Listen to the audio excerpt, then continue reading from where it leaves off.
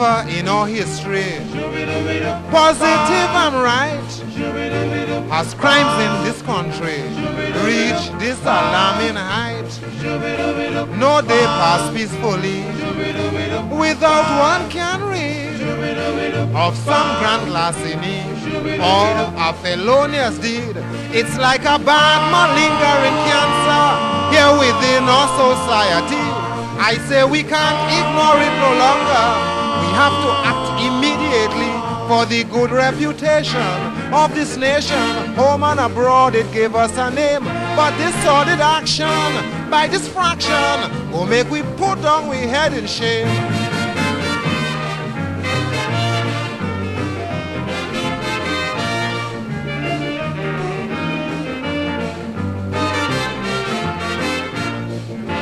We can't condone violence, not in any way. Hooligan elements must be crushed, I say. This recent eruption of hooliganism stems from non-cooperation by us decent citizens. We see a man committing an offense, but to the law not a word we say. Withholding evidence, allowing to have their way, then we blame the government, unemployment, even the police getting blamed too. How they inefficient and too negligent. But I say the people to blame is you.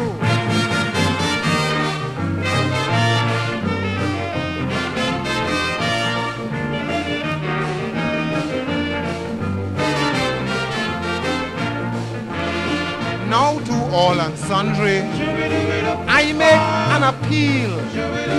Do your moral duty, regardless of how you feel.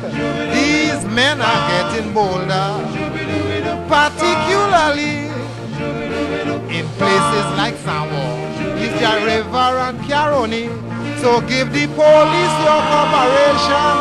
They'll protect you, don't be afraid. I know they'll fight with determination to upkeep the law for which they are paid. Now always remember, law and order is the strength of society. And if it should falter, so help me brother, say goodbye to democracy.